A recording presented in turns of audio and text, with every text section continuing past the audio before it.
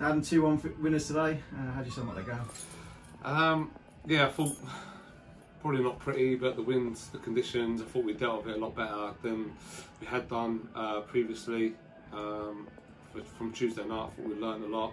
Um, changed up the team a little bit. Ben come in, um, some players coming back. So all in all, I think it's quite positive. Um, I think Ollie had a good chance to make it 3 0 and then they go down the other end and, and make it 2 1.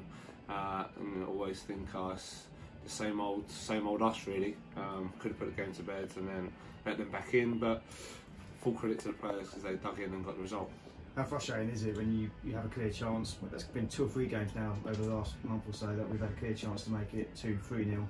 Miss that chance and they go down the other end and, and score.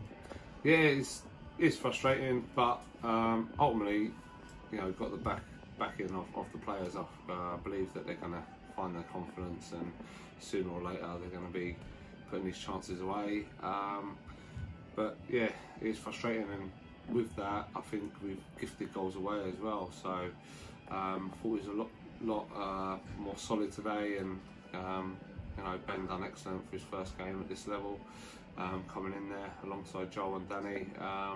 You know, real young backline, but they showed a lot of maturity, and just like to add how pleased I was with Rocco um, after his mistake uh, Tuesday um, to give a performance like that. There's a couple of balls that come flying in at him with the wind.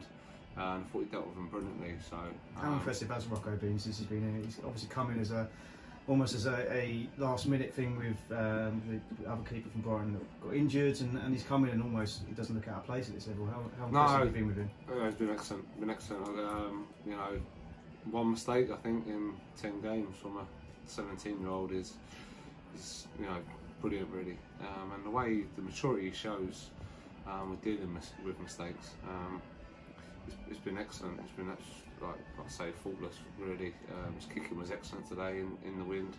Um, you know, when, when, we needed it, it needed to be miss out their press and go slightly longer and pick up second balls. It's it's not really us to do that, but I thought we'd done that really well. And you know, like I say, as a team and including Rocco in that, I thought we showed a lot of maturity today. How nice was it to see Alfie, Alfie Young back on the pitch after so many months out injured? Yeah, I mean, been really frustrating a uh, few years really for Alfie in terms of um, his game time on the pitch. Um, so for him to you know, get back out there, uh, hopefully now he's had operation in the summer. Um, it's cleared up his hernia now, and he can just focus on getting minutes and keep on improving. But I think we showed see today just some of his touches and how what class player he is for this a, level. a good player there, isn't there? Hundred percent. I mean, you can play a variety of positions. They put him in the centre midfield. Thought Ross's legs were just starting to go a little bit, so we needed to freshen up in the middle of the pitch. And you know, we had Jalen and Shola and, and Jasper and, and Finn to, to, call upon from the bench, um, and that's with Marvin being injured, um, Joe Tennant suspended, Darren Budd injured. So it's it's a good good squad of players. Um, and yeah, when you get your opportunities, you've got to take it. Um, and I thought Alfie done brilliant when he came in. So two or three days off now, the way to Merstham on Tuesday night. What's your thoughts in, in terms of travelling there? What's the same sort of game plan?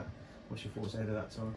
Yeah, they're sort of in and around us in the league, so um, got an opportunity to sort of push push on now.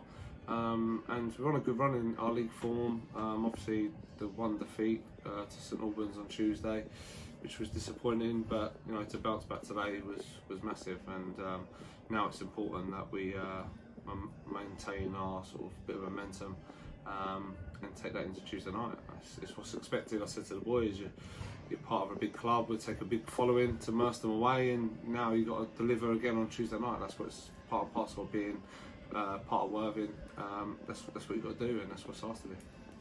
Thank you. Cheers, mate.